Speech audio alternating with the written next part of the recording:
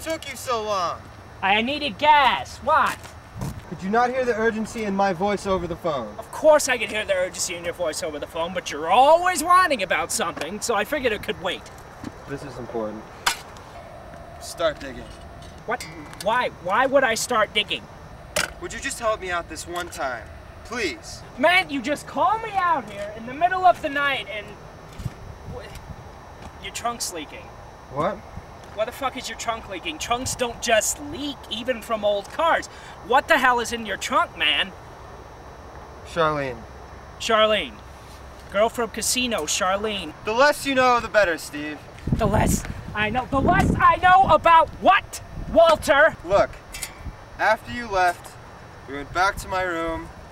As it turns out, she was a fucking hooker! A, a hooker, a, a hooker, that's great! Probably one from the fucking flyer in the vending machine! A hooker! My vices are the least of our concerns right now. Your vice. this, this isn't a vice! This is like a fucking Armageddon here! You- What the fuck What? was I supposed to do? I wasn't gonna pay her. I need the money to feed my addiction. Jesus, tap dancing! Fucking Christ, Walter, this isn't. What? The fuck is wrong with you? Look, it'll be alright, okay? I have a plan. She's not gonna be expected by Pimp Daddy till morning, okay? So we'll just bury her right here, alright? We'll be on our merry way, and nobody, nobody will be the wiser. What the? You'll know! I know! And, apparently I'm not the sick, misanthropic, crazy fuck that you are! You're are! making me nervous, Steve. Oh, really? Ah!